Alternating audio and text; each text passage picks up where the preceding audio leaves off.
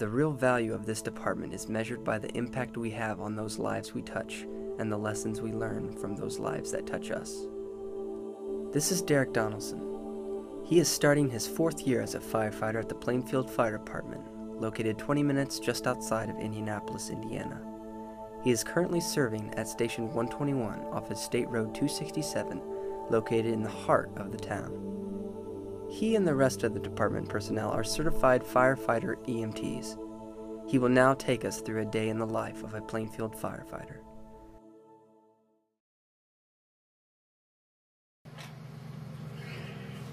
Morning. Bright and early.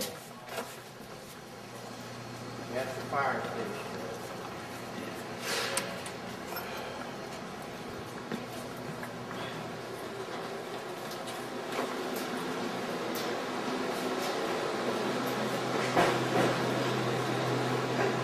Oh, you're kidding. Morning, boss. All right, so this is the ride-out sheet.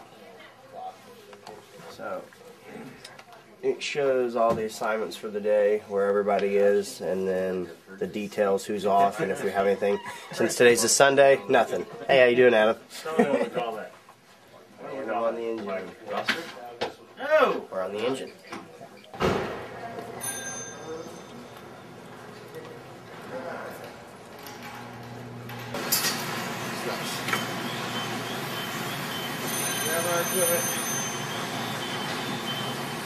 That book's always important.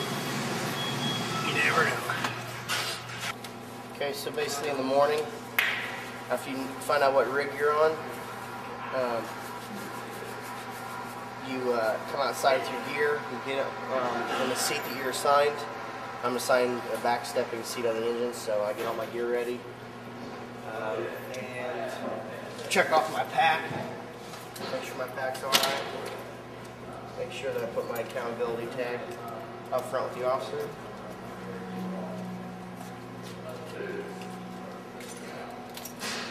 And then we go clock in.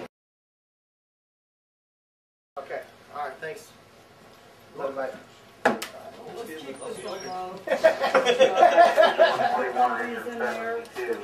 Eighty-one ninety-one Upland Way at Walmart at the rear of the store. Report a person down.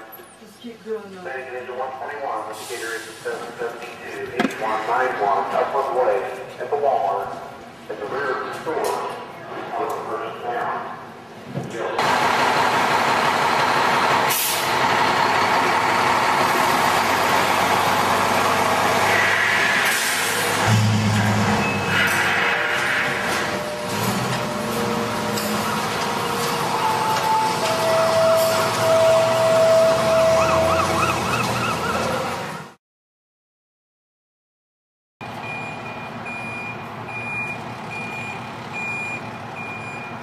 Medic and Engine Company 121 are currently the busiest fire apparatus in Hendricks County, carrying the bulk of fire EMS runs between the two.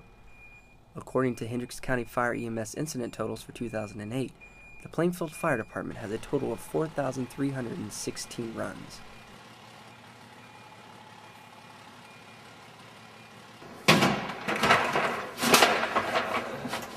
What we're doing right now is before we pull it out, we just go through it and double check and make sure that everything's there. They had a fire yesterday, so it's even more imperative that you make sure that all your equipment is here. You know, your hose is good, you know, your nozzles are here, that there's nothing major missing. Every morning, each firefighter is assigned a specific apparatus. They are expected to conduct a thorough inspection of the integrity, condition, and working order of all emergency lights, equipment, and mechanical and electrical systems. It's always important that after any big runner fire, the oncoming shift makes sure to check that all equipment has been put back in place and that the engine is fully stocked of all supplies. Any equipment that might have been used should be properly restocked, whether that be from a full tank of water and charged battery to full air bottles and plenty of oil dry. This is very important due to the fact that all apparatus have to be self-sustaining and able to provide its workers with all necessary and adequate equipment for whatever type of work that might be called upon them to carry out. The start of a shift brings a new level of excitement for the day. Most firefighters enjoy the ever changing aspect of the job. The routine morning chores and checkoffs must be completed before breakfast. After that, the day can begin. When the bell is triggered by dispatch, firefighters listen for their assignment following the tone. Once the firefighters are situated and prepared for the task ahead, they are off, with not a moment to spare. And thanks to the permission of Battalion Chief Bond, so were we. With a yearly run load of almost 4,400 calls, more than any other department in Hendricks County, the department protects and provides all ALS care to around 40,000 residents. The Plainfield Fire Department protects a very diverse landscape. In this part of town, there is a wide variety of homes, suburbs, and varying degrees of socio-economical levels. On this particular run, a cardiac arrest occurred on the east side of town. The patient unfortunately did not make it.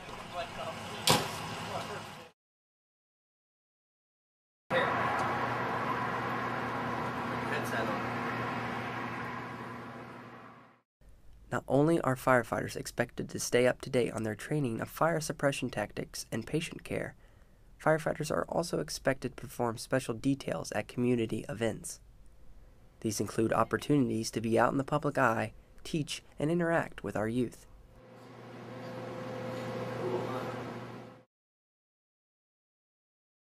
After fulfilling their duties at the station, the firefighters made a special trip to Arbuckle Park in Brownsburg for training involving low-angle slope evacuation drills. This event was coordinated by the Hendricks County Rescue Task Force. This rescue task force was implemented in March of 2007 in order to consolidate county resources and manpower. With this form of training understood by each individual department, Firefighters from all reaches of the county will utilize these same techniques in the event of a real emergency. The procedures employed on this day were used to simulate a rope rescue for a person that had fallen over an embankment or down into a ravine. The use of a Stokes basket, or litter, was used to carry a fellow firefighter impersonating a victim. This rope system is used to maximize the carrying capacity of the rescuers and ensure the safety of the victim within the litter. With this system in place, two to three firefighters can pull up to 500 pounds by themselves. With a typical run load of 10 to 15 runs during their 24 hour tour of duty, the firefighters enjoy the downtime, taking the opportunity to relax and recharge.